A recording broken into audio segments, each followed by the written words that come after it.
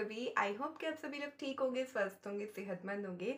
और आज मैंने सोचा, आज मैं ब्लॉग इवनिंग से स्टार्ट करती हूँ बिकॉज़ ऑफ़ मैंने बहुत सारे blog early morning morning after से स्टार्ट किए हैं। एंड बहुत दिनों से मैंने इवनिंग से ब्लॉग बनाना स्टार्ट भी नहीं किया सो आई थॉट कि चलो आज इवनिंग से स्टार्ट करती हूँ। सो फाइनली मैंने कर लिया है अपना थोड़ा सा मेकअप एंड स्किन केयर और जैसे कि मैं आपको बताती हूँ कि शाम को थोड़ा सा पैम्पर होना ज़रूरी होता है, दिन भर की थकान भी दूर हो जाती है। साथ ही साथ आप मिरर से कांटेक्ट करते हो खुद का तो आपको खुद अच्छा फील होता है जब आप खुद को सुंदर देखते हो मिरर में। भले ही आप चाहे जैसे हो, लेकिन फिर भी हम सुंदर हैं, अपने लिए हम ब्यूटीफुल हैं, ठीक है? हमें खुद से प्यार ज़रूर करना चाहिए। एंड हाँ गाइज़ मैंने एक वीडियो भी बनाया है कि हम खुद के लिए मी टाइम कैसे निकालें। यानी कि हम खुद के लिए खुद का टाइम कैसे निकालें। उसके ऊपर मैंने वीडियो बनाया है, सभी हाउसवाइफ सभी मॉम एक बार प्लीज़ वो वीडियो ज़रूर देखेगा। क्योंकि क्या है ना, हम लोग पूरे दिन बिज़ी रहते हैं, किसी के चक्कर में, किसी का खाना बनाना है, किसी के कपड़े प्रेस करने बच्चों का स्कूल देखना है, घर की साफ़ सफ़ाई देखनी है, बहुत सारे ऐसे काम होते हैं किचन के काम होते हैं। बट हम अपने लिए टाइम नहीं निकाल पाते हैं। तो मैंने उसके ऊपर एक ऑलरेडी स्पेशल वीडियो बनाया है कि खुद के लिए मी टाइम कैसे निकालें। प्लीज़ आप लोगों से रिक्वेस्ट है, वो वीडियो आप एक बार ज़रूर जाके देखेगा आपको बहुत मोटिवेशन फील होगा एंड आपको बहुत अच्छा भी लगेगा। और ऐसी बहुत सारी अच्छी अच्छी चीज़ें आपको सीखने को मिलेंगी वो वीडियो में। तो वीडियो देखने के लिए जाइएगा नीचे डिस्क्रिप्शन बॉक्स में लिंक मैंने नीचे दे रखा है। ओके okay, वापस आ जाते हैं ब्लॉग पे। तो आज मैं आपके साथ मेरा हेयर ऑयलिंग शेयर करने वाली हूँ। बिकॉज़ ऑफ़ मैंने बहुत सारे दिन से अपना हेयर ऑयलिंग नहीं कर पाया मैंने अपना हेयर केयर नहीं कर पाया। सो so, मैं सोच रही हूँ मैं अपना हेयर ऑयलिंग आपके साथ शेयर करूँ और मैं कर भी रही थी। तो मैंने सोचा क्यों ना मैं ये वीडियो आपके साथ शेयर करूँ। तो जैसे कि आपको पता है मैं सेशा हेयर ऑयलिंग यूज़ करती हूँ। और बस मैं एक बोल में ले लूँगी जितनी भी आपकी हेयर क्वांटिटी है उतना। एंड हाँ एक चीज़ और आप चाहो तो इसकी जगह कोकोनट ऑयल आता है वो भी आप यूज़ कर सकते हो वो भी बहुत अच्छा आता है बट मेरा इसके साथ एक्सपीरियंस बेस्ट है। ओके okay, अगर आपको डेंड्रफ है तो आप इसमें लेमन एसेंशियल ऑयल के कुछ ड्रॉप डाल सकते हो। या तो फिर अगर आपको अपने बालों की ग्रोथ करनी है तो मैं यूज़ करती हूँ फ़िलहाल tea tree essential oil and ये मुझे बहुत ज़्यादा पसंद आता है और मैंने इसके ऊपर ऑलरेडी एक वीडियो बना रखा है। सिर्फ़ और सिर्फ़ इसकी ही बारे में मैंने इन्फॉर्मेशन दिया है, आप फटाफट से जाके देखेगा कि इसके क्या क्या यूज़ हैं और आप किस किस तरीके से इसको कहाँ कहाँ यूज़ कर सकते हो। ओके तो मैं डाल लूँगी। और ये मेरा बहुत फिनिश हो गया है क्योंकि मुझे बहुत पसंद आता है टी ट्री एसेंशियल ऑयल और मैं बहुत ही ज़्यादा सेटिस्फाइड हूँ इससे। I am very happy with it okay अच्छे से मिक्स कर लेंगे और अपने बालों में अप्लाई करेंगे।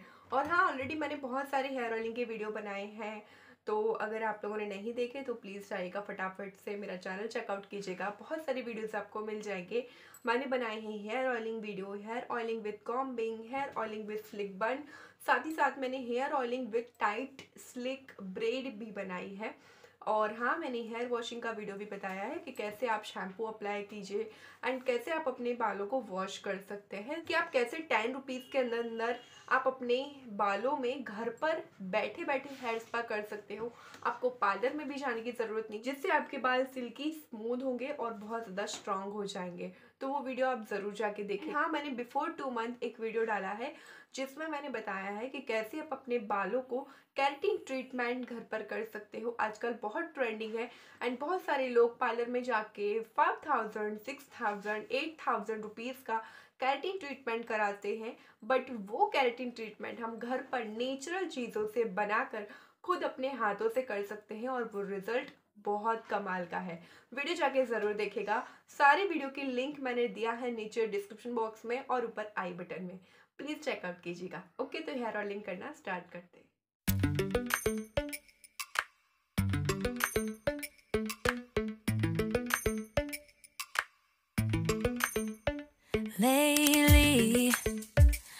Been lying to myself.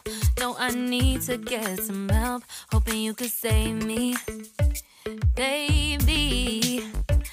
Put our pictures on the shelf. Swore I'm over you. Oh well, it's not that easy. Waking up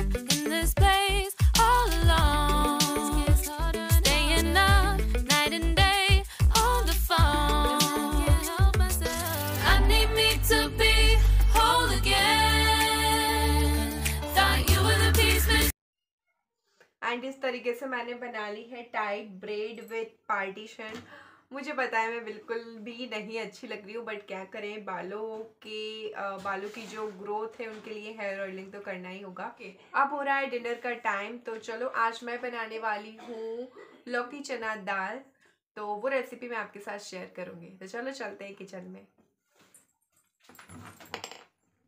so so, यहाँ पे लौकी चना दाल बनाने के लिए मैंने लौकी को ऑलरेडी कट करके रखा था। उसको पील करके छोटे छोटे बारीक टुकड़े कर दिए हैं और प्रेशर कुकर में अच्छे से वॉश करके डाल दिया। और यह है चने की दाल जिसको मैंने थर्टी मिनट पहले अच्छे से भिगो कर रख दी थी। काफ़ी अच्छे से सोख हो चुकी है और इसको भी मैं प्रेशर कुकर में रख दूँगी। और बिल्कुल अच्छे से वॉश्ड होनी चाहिए हमारी चने की दाल। और इसमें हम कुछ इंग्रेडिएंट्स डालेंगे, जैसे कि है हल्दी का पाउडर और थोड़ा सा मैं इसमें नमक भी डालूँगी ताकि ये बहुत अच्छे से बॉईल हो जाए, अच्छे से गल जाए। तो मैं इसमें थोड़ा सा नमक और घी और डालूँगी ताकि घी डालने से क्या होता है ना टेस्ट बढ़ जाता है और हमारी जो लौकी चना दाल है वो बहुत अच्छी बन के तैयार होती है। ये एक बहुत हेल्दी रेसिपी है। साथ ही साथ इसको आप रोटी, चावल दोनों से ही खा सकते हो। तो इसे आप डिनर में भी बना सकते हो या तो फिर आप लंच में भी बना सकते हो। अगर आप डाइटिंग कर रहे हो तो सिर्फ़ डिनर में आप ये दाल बना लीजिए। और एज अ डिनर एक बोल भर के ये दाल लौकी, जो चना दाल लौकी है, इसको लेके आप अपनी डाइटिंग जो है, उसको फॉलो कर सकते हो। बहुत हेल्दी होता है। एंड सेकंड थिंग, इसमें पानी बहुत कम जाता है तो पानी हमें बहुत कम डालना है। जो चने की दाल है और लौकी है, बस वो भीग जाए, क्योंकि जो लौकी है वो पानी रिलीज़ करती है तो पानी इसमें कम जाएगा। ओके तो बस पानी डालकर और अच्छे से मैं इसका प्रेशर कुकर का ढक्कन लगा दूँगी और मीडियम टू लो फ्लेम पर इसको मैं चार विसल आने तक अच्छे से पक जाने दूँगी। तो ये पक रहा है, जब तक मैं और जो भी प्रिपरेशन होती है, वो कर लेती हूँ। ओके तो यहाँ पर मुझे गूँथना था आटा बिकॉज़ ऑफ़ हम इसको रोटियों से खाएँगे। बिकॉज़ ऑफ़ आजकल क्या है ना, हमारे घर में मोस्ट ऑफली सभी लोगों को स्निजनिंग यू नो हल्का हल्का सर्दी जुकाम जैसा है। तो मैं चावल नहीं बनाऊँगी, क्योंकि सर्दियों में चावल जो है राइस जो है वो कफ़ को और बढ़ाता है, सर्दी जुकाम और बढ़ जाएगा। और वैसे भी हम लोग खाते नहीं हैं, बहुत ज़्यादा चावल आप लोगों ने देखा होगा। और यहाँ पे मैंने कुछ प्रिपरेशन कर ली है, जैसे कि मैंने लहसुन कट कर लिया है दो से तीन। और बारीक एक प्याज ले ली है, करी पत्ते ले लिए हैं और जो टमाटो होते हैं तो यहाँ पे मैंने एक ही, लेकिन बहुत बड़ा टमाटर था तो इसको मैंने प्योरी बना ली है। और साथ ही साथ कुछ मुझे मसाला भी ग्राइंड करना था तो मैंने ये किया है। तो इसमें मैं बता दूँ क्या है? इसमें है धनिया और मिर्ची और गरम मसाला। गरम मसाले में सिर्फ़ मैंने चार से पाँच काली मिर्च के दाने लिए हैं और अच्छे से सिलबट्टे पे मैंने इसको ग्राइंड किया है। आप चाहो तो मिक्सर ग्राइंडर में भी ग्राइंड कर सकते हो। और कुछ मैंने खड़े मसाले ले लिए हैं, बस यही है। तो चलो अब तड़का तैयार करते हैं। तड़का बनाना स्टार्ट करते हैं।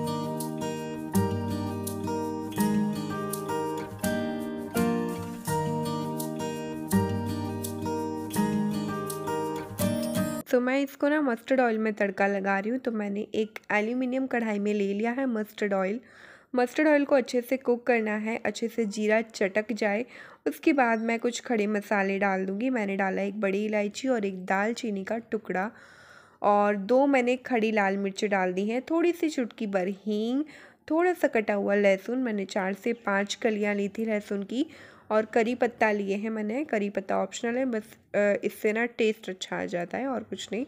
और प्याज डाल दी है मैंने, छोटी वाली प्याज ली है और बट उसको बारीक कट किया है। अच्छे से जैसे ही मेरी प्याज भुन जाती है, इसमें मैं डाल दूँगी मेरा रूटीन का मसाला पेस्ट और अच्छे से स्टर करके उसको भून लूँगी। मसाला जब तक भूनना है, जब तक कि मसाला अच्छे से कलर ना छोड़ने लगे। साथ ही साथ मैंने जो टमाटर की जो प्योरी बनाई थी, वो भी मैंने डाल दी है।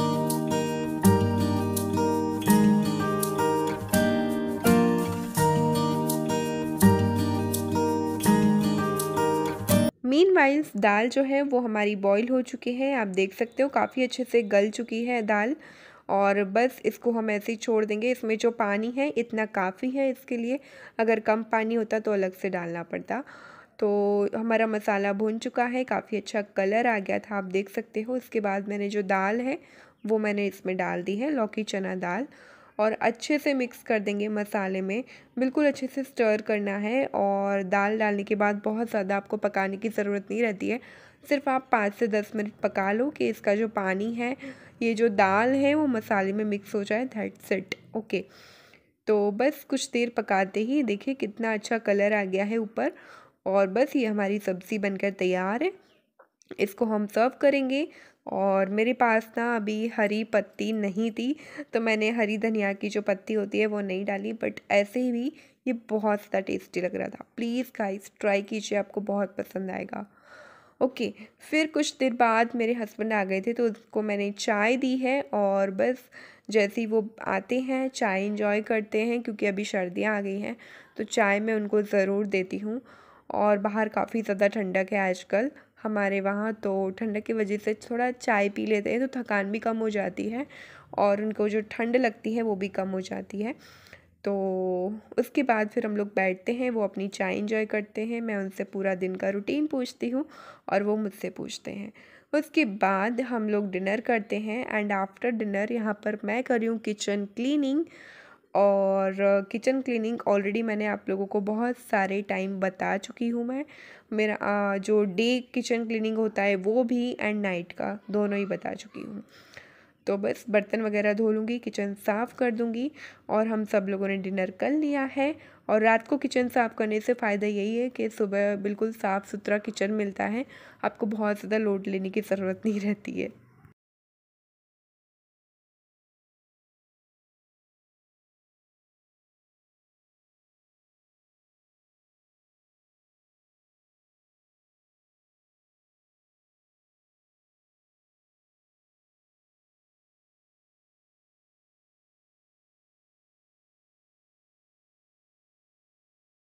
एंड आफ्टर किचन क्लीनिंग यहाँ पर मैं करी हूँ श्रे की हेल्प क्योंकि उसको लगाना होता है बैग कल स्कूल के लिए।